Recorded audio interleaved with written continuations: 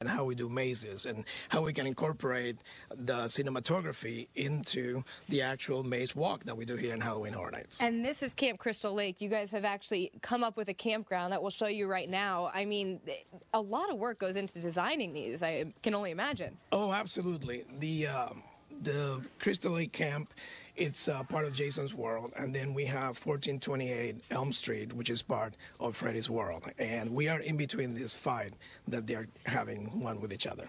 And when guests come in here, this is the first scene they'll see, and then and then how many others? What else? Uh, there's about nine to ten scenes, and each one scene offers a technological uh, improvement from different years that we've been doing these houses. Great, and this is a big new house, guys. Coming up in the next hour, 6:55 to be exact. You'll want to tune back in. We'll take you inside The Walking Dead. Halloween Horror Nights starts tonight, Bridget. Oh boy, lots of people will be losing their voices out there tonight, Erica, screaming. Oh yeah. All right, It's hard you. to tell, like I said, who's real and who's a mannequin. Yeah, is, so Ja- is. Jason real? Is Jason real? Oh, he's real. Look at those oh. eyes. Hi, Jason. He's real. Hi, Jason. Not coming to see you. I know how to figure out if somebody is real Thanks, or not. Erica. Just run through the house tickling everybody. I'd run through the house tickling everybody to figure out if they're real Oh, or not. better That's what I would tickle do. Jason. I